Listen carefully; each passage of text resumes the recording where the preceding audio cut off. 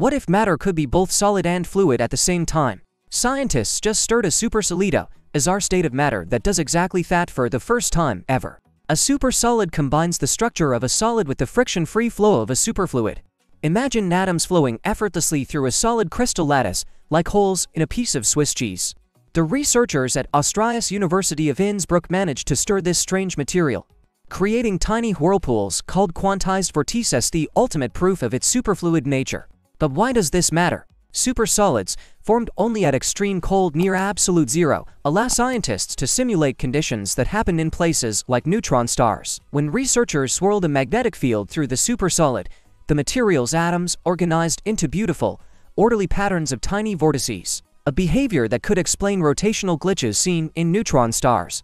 This breakthrough opens new doors for exploring the mysteries of the cosmos right here on Earth. Fascinated by these mind-bending discoveries,